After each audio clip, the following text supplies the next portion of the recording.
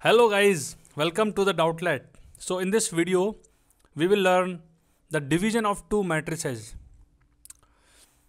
So in linear algebra, basically division is not defined, means it is not being taught, but still we will study it. Suppose we need to divide a matrix A by matrix B, means B is the denominator matrix and A is the numerator matrix then we can call it as A multiply by inverse matrix of B. Means we have called this process the division of two matrices. So here what are the conditions that need to be ful fulfilled? First both matrix should be of square matrix of same order. Means square matrix of same order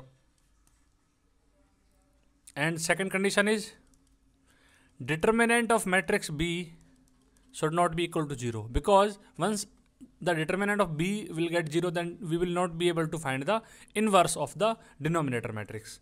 Then this is how we have defined the division operation for two matrices. Now for the example I have just taken two matrices of 2 cross 2.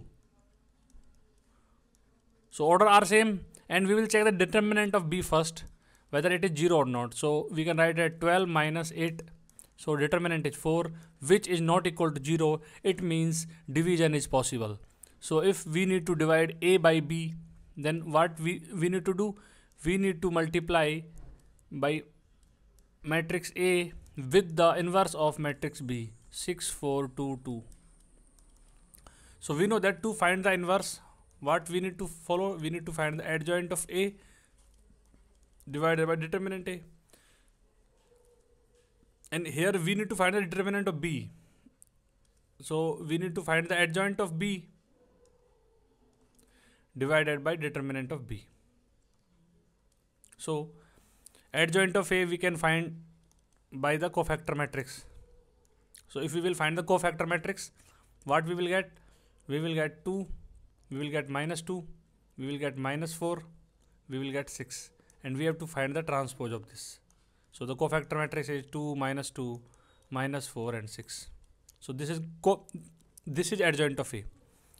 Then we need to find the inverse. So adjoint of b sorry. This is adjoint of b. So to find the inverse of b we need to divide this this adjoint matrix with determinant. So adjoint of b divided by determinant of b. So determinant is 4. So 1 divided by 4, 2 minus 4 minus 2, 6 means we have to multiply this scalar with this matrix. Then we have to multiply this with each element. So the inverse matrix is 1 divided by 2 minus 1 minus 1 divided by 2 and this is 3 by 2. So this is the inverse matrix. Now we have to multiply this with 1, 2, 3, 4 matrix. So A divided by B is equal to this is 1, 2, 3, 4. This is 1 by 2 minus 1. This is minus 1 by 2. This is 3 by 2. Now to perform the matrix multiplication, we will consider first row and first column and divide the consecutive elements. So it will become 1 by 2 minus 1. Then first row and second column, this is minus 1 plus 3 then second row first column this is 3 by 2 minus 2 then second row second column minus 3 plus 6 this is minus 1 by 2 2 this is minus 1 by 2 this is 3 so this is the final answer of of a by b so this is how we have obtained the division of two matrices. So here mm, two three operations that we have used. One is to find the inverse. Another is matrix multiplication. Another is to find the adjoint of matrix. Another one is scalar multiplication. So for all these matrix operations I have made, I have designed a step-by-step -step algorithms calculator the link of all the calculators I will provide in the description below and you can find those calculator on my website also.